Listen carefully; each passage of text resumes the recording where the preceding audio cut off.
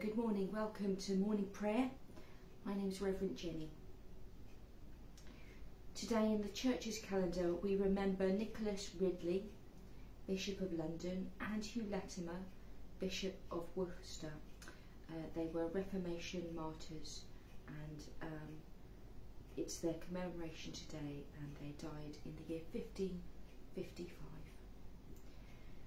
So let us worship together. O Lord, open our lips, and our mouth shall proclaim your praise. Blessed are you, Creator of all, to you be praise and glory forever. As your dawn renews the face of the earth, bringing light and life to all creation, may we rejoice in this day you have made.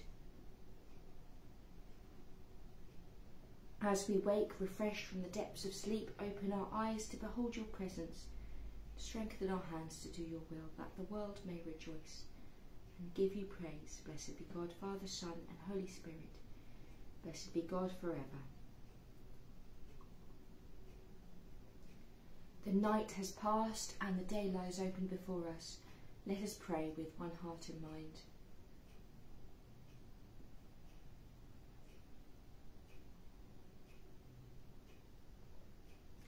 As we rejoice in the gift of this new day, so may the light of your presence, O God, set our hearts on fire with love for you now and forever.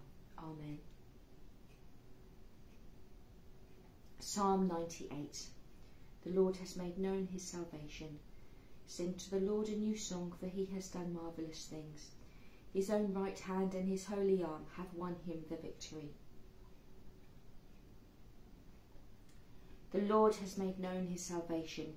His deliverance has he openly shown in the sight of the nations.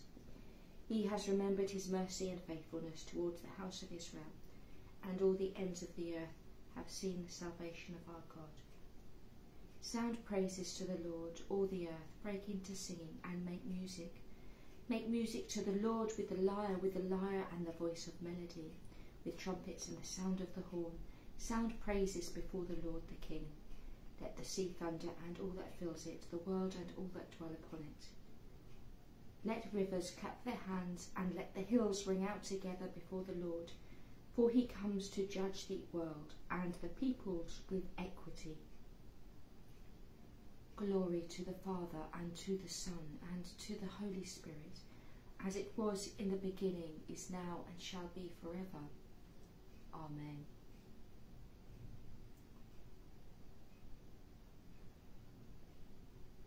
First reading is from Ecclesiasticus, chapter 22, beginning at verse 6. Like music in time of mourning is ill-timed conversation, but a threshing and discipline are at all times wisdom. Whoever teaches a fool is like one who guides potsherds together, who rouses a sleeper from deep slumber. Whoever tells a story to a fool tells it to a drowsy man. And at the end he will say, What is it? Weep for the dead, for he has left the light behind, and weep for the fool, for he has left intelligence behind. Weep less bitterly for the dead, for he is at rest. But the life of the fool is worse than death. Mourning for the dead lasts seven days, but for the foolish or the ungodly it lasts all the days of their lives. Do not talk much with a senseless person or visit an unintelligent person. Stay clear of him, or you may have trouble and be spattered when he shakes himself. Avoid him and you will find rest, and you will never be wearied by his lack of sense. What is heavier than lead, and what is its name except fool? Sand, salt, and a piece of iron are easier to bear than a stupid person. A wooden beam firmly bonded into a building is not loosened by an earthquake. So the mind firmly resolved after due reflection will not be afraid in a crisis. A mind settled on an intelligent thought is like a stucco decoration that makes a wall smooth. Fences set on a high place will not stand firm against the wind. So a timid mind with a fool's resolve will not stand firm against any fear. Anyone who pricks the eye brings tears. Anyone who pricks the heart makes clear its feelings one who throws a stone at birds and scares them away, one who relieves a friend, reviles a friend, destroys a friendship. Even if you draw your sword against a friend, do not despair, for there is a way back. If you open your mouth against your friend, do not worry, for reconciliation is possible. For as reviling, arrogance, disclosure of secrets, or a treacherous blow, in these cases a friend will take to All the earth shout and sing for joy, for great in your midst is the Holy One. Behold, God is my salvation. I will trust and will not be afraid. For the Lord is my strength and my song, and has become my salvation. With joy you will draw water from the wells of salvation. On that day you will say, Give thanks to the Lord, call upon his name. Make known his deeds among the nations, proclaim that his name is exalted. Sing God's praises, who has triumphed gloriously. Let this be known in all the world.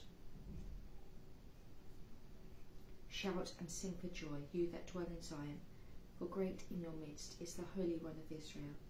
Glory to the Father, and to the Son, and to the Holy Spirit, as it was in the beginning, is now, and shall be forever. Amen. All the earth shout and sing for joy, for great in your midst is the Holy One.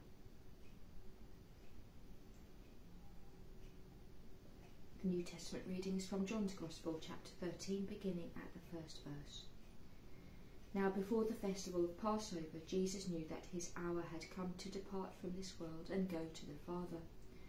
Having loved his own who were in the world, he loved them to the end. The devil had already put it into the heart of Judas, son of Simon Iscariot, to betray him. And during supper, Jesus, knowing that the Father had given all things into his hands, and that he had come from God, and was going to God, got up from the table, took off his outer robe, and tied a towel round himself. Then he poured water into a basin and began to wash the disciples' feet and to wipe them with the towel that was tied around him. He came to Simon Peter, who said to him, Lord, are you going to wash my feet? Jesus answered, You do not know now what I am doing, but later you will understand. Peter said to him, You will never wash my feet. Jesus answered, Unless I wash you, you have no share with me. Simon Peter said to him, Lord, not my feet also, but my hands and my head. Jesus said to him, One who has faith does not need to wash, except the feet, but is entirely clean. And you are clean, though not all of you. For he knew who was to betray him. For this reason he said, Not all of you are clean. This is the word of the Lord. Thanks be to God. Trust in the Lord with all your heart and be not wise in your own sight. Trust in the Lord with all your heart and be not wise in your own sight. In all your ways acknowledge him, and he will make straight your paths. Trust in the Lord with all your heart. Glory to the Father, and to the Son, and to the Holy Spirit. Trust in the Lord with all your heart, and be not wise in your own sight. The Benedictus. You have set us free from worship. She, the Benedictus, you have set us free to worship you without fear holy and righteous in your sight.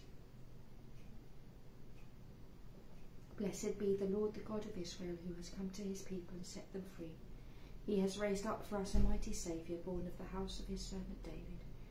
Through his holy prophets, God promised of old to save us from our enemies, from the hands of all that hate us, to show mercy to our ancestors, and to remember